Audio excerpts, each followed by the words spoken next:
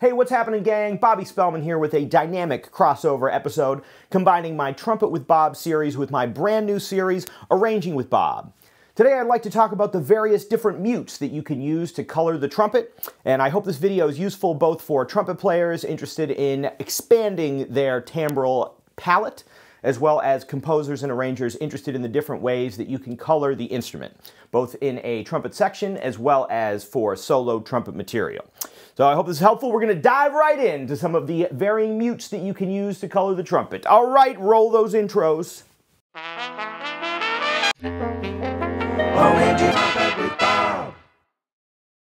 All right, before we dive into the tonal color of these different mutes, I wanted to distinguish between the more common mutes that you could expect to see and specialty mutes. I'm going to put these mutes into two different categories. There are five mutes that you can expect that a trumpet player will have in his or her arsenal, and if you are a trumpet player, you should be sure to pick these up and have them on hand in case a composer writes for one of these mutes. Those mutes are the straight mute, the cup mute, the bucket mute, the Harmon mute, and the plunger mute.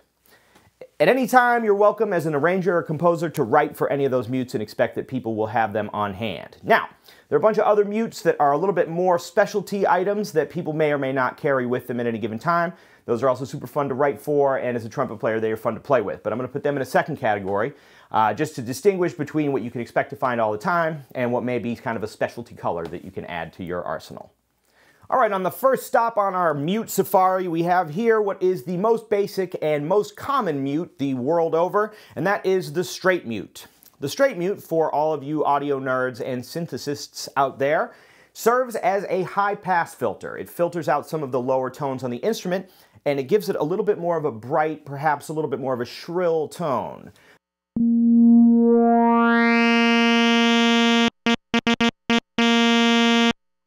This is most commonly used in classical music, although you might also find it in big band music, jazz, and uh, various other styles of music. All right, so to begin, I'm going to play a, couple notes on the trumpet open, just so you can hear what the tone of the instrument is, and then I will add the mute so that you can hear the way that the mute changes the color of the instrument. Here we go.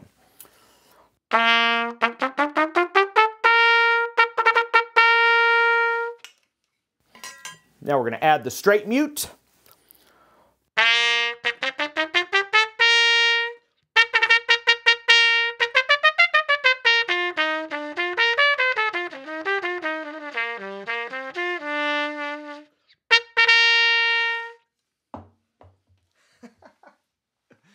All right, there you can see the way that the straight mute colors the sound of the trumpet. Uh, the straight mute, more than many of the other mutes, really allows a lot of sound out of the trumpet, so you can get a lot of volume out of it.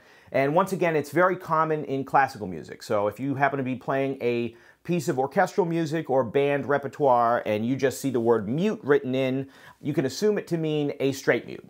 Now, that being said, it can also be played in jazz, although it's so uncommon in jazz that as a jazz musician, I've managed to make it almost my entire life without having to have a straight mute. And usually, when people ask me to do it, I'll just pull the cup off of my cup mute. But always a good one to have on hand.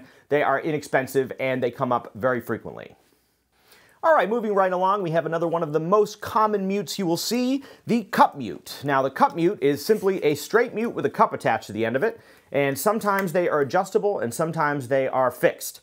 Much like the straight mute serves as a high pass filter and cuts out some of the lower tones, the cup mute kind of shapes the sound by removing some of the higher overtones and the lower tones. So you get a little bit of a different color from the cup mute. Uh, I think often about Dizzy Gillespie playing A Night in Tunisia or Clifford Brown playing Delilah. It's used very frequently in solo jazz trumpet, uh, in varying small group jazz trumpet uh, pieces, as well as in big band sections. All right, so if I pull the cup out a little bit and have it about halfway in, which is where you normally find it, you get a sound like this.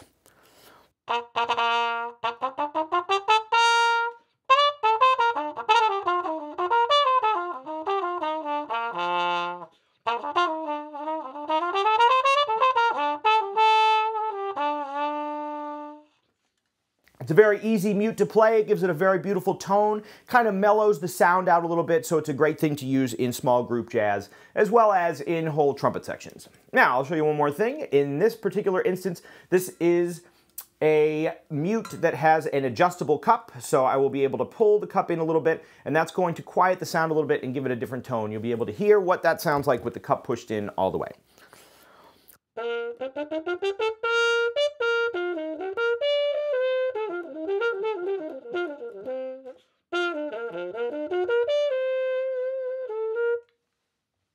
Now typically you just have the cup pulled out a little bit, you'd have it in there about halfway, uh, and you get a very nice little color. If you push it in all the way, it mellows the sound out quite a lot, makes it just a little bit stuffier to play, but you can use that for, uh, you know, quieting the trumpet down for background passages and various things like that. There you have it, the cup mute.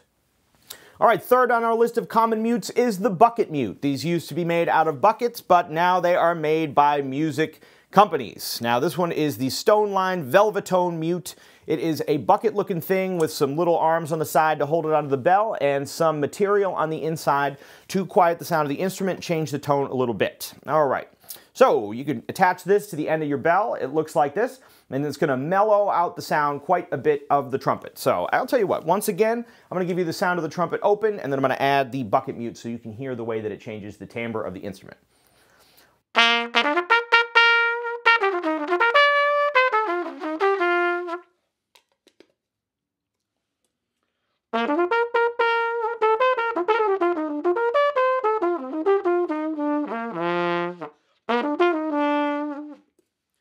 Once again, the bucket mute is a very easy mute to play. It uh, gives you a lot of leeway when you're playing an instrument. It doesn't feel too stuffy, but it does mellow the sound of the instrument out quite a bit. So if you've got an entire trumpet section and you're looking for a very mellow tone for the whole section, you can put everybody in bucket mutes and you're gonna get a very nice, warm, velvety tone. All right, fourth on our list of common mutes is my favorite mute of all time, the Harmon mute. Now sometimes this will be referred to as a wah-wah mute because of the sound that you can make with your hand and what is called the stem. However, it was most popularized by Miles Davis, who would play it without the stem. And it's a very interesting mute because you get very starkly different colors from it depending on whether you're using the stem or whether you're playing it without the stem. So the stem is this little piece that moves in and out of the rest of the mute. And depending on whether that's in or out, you're gonna get a very different color from the mute. So we're gonna start it with the stem in. This is less common. This is kind of an old-timey sound, and you can make some funny sounds with your hand and the wah-wah uh, component of the mute. All right, here's what that sounds like.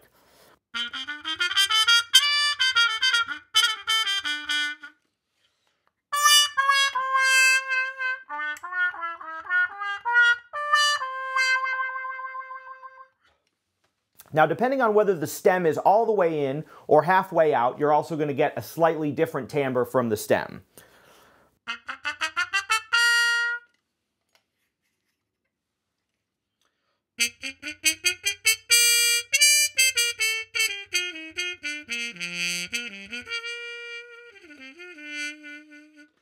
With the stem halfway out, you get a little bit of a mellower tone, but you can still use that hand technique to get a little bit of a wah-wah out of it.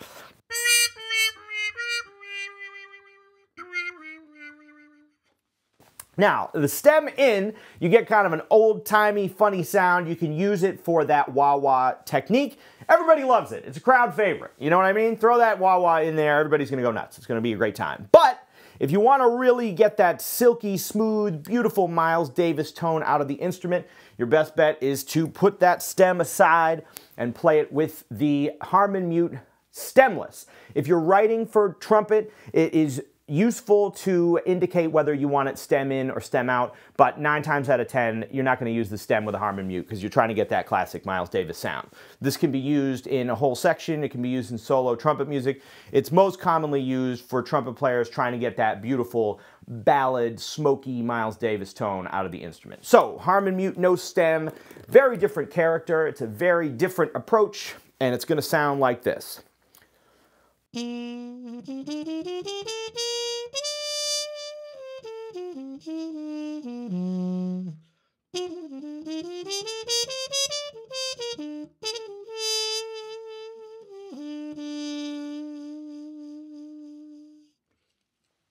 All right, moving along, we have another crowd favorite, the plunger mute. This is literally made out of a plunger. I went to a hardware store, bought a plunger, cut a hole in it like Clark Terry told me to do, and uh, here we have a wonderful mute that works in many circumstances. Once again, this is very common to see in big band jazz music or in soloistic trumpet, jazz music, you know, improvised music and things of that nature, as well as in old uh, trad jazz, and more traditional styles of music. Uh, this is a really fun mute, and you can expect that any trumpet player should have one on hand.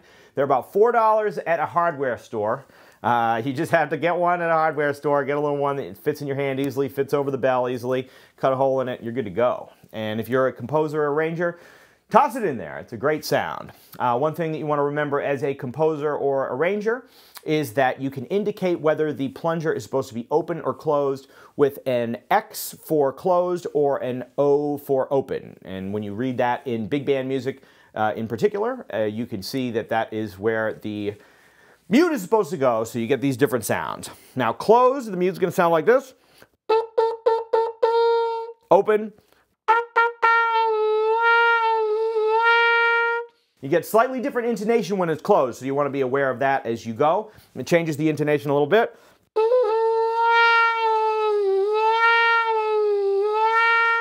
It also makes it a little bit stuffier to play, obviously, with the mute closed. But the most powerful approach using the plunger technique is to get that wah-wah sound.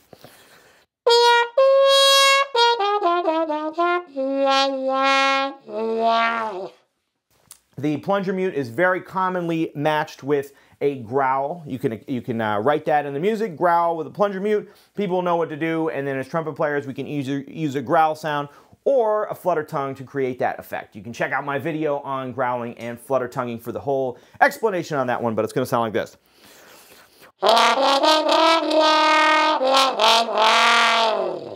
And that's a beautiful sound crowd favorite, everybody has a good time, and at some point on the gig, somebody's gonna come up to you and say, is that a real plunger you're using there? Is that, what you, where'd you get that? And you can tell them that you took it off your home toilet plunger and gross everybody out. Super fun, you gotta love it. Plunger's a classic. All right, so that brings us to the end of the five most common mutes that you will find. That is the straight mute, cup mute, bucket mute, Harmon mute, and plunger mute. Once again, if you're a trumpet player, you should have those in your bag of tricks, and as an arranger or composer, you can feel comfortable writing for those, knowing that they will very likely have them on hand. All right, gang, this video is starting to get pretty long, and we haven't even started to cover any of these specialty mutes. So I'm gonna cut this bad boy into two parts, and you've just reached the end of part one. Be sure to stay tuned for our next episode, in which I will discuss many of the specialty mutes you can use to color the sound of the trumpet. Uh, be sure to leave any questions or comments in the comments section below, and I'll get back to you. And I'll catch you on the next one. All right, friends, thanks so much for checking out this video. I hope it helps in your pursuit of the majesty of musical self-expression. If you like what we're doing here, please like this video and subscribe to the channel. Big thanks to all the new subscribers. We really appreciate your support, and we're going to keep putting out some new videos for you. The Ridgewood School of Music is now accepting new students for lessons online as well as in person in the Brooklyn, Queens, and greater New York City area. You can find us on our website at www.ridgewoodschoolofmusic.com and you can send us a message and we would love to help you achieve all of your musical dreams. For some more musical fun, you can also follow me, Bobby Spellman, on Instagram at Bob Spellman or in any of the other social media platforms listed in the description below. Thanks again for checking out this video, happy practicing, and we'll catch you next time.